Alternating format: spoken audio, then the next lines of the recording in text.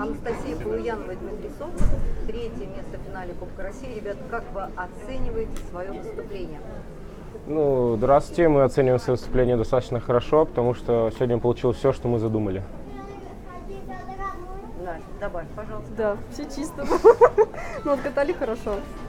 Как проходила подготовка к этому старту?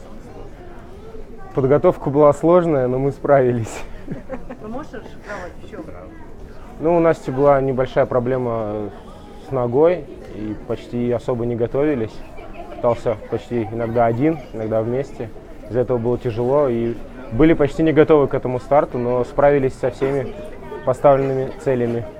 То есть фактически катались здесь с чистого листа, можно так сказать. Ну, Да. почти, да, почти, да, с чистого листа.